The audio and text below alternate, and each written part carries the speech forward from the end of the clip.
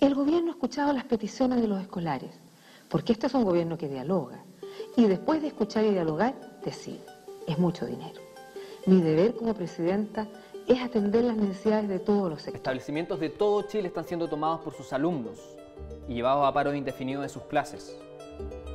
Hoy tenemos conocimiento que ocho establecimientos fueron tomados esta mañana y creemos que durante el día esas cifras deberían aumentar.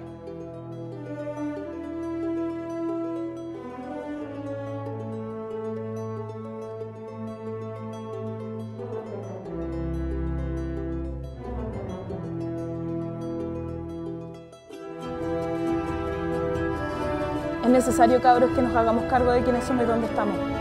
Nadie tiene por qué elegir por nosotros. Porque quieranlo o no, esto está recién comenzando.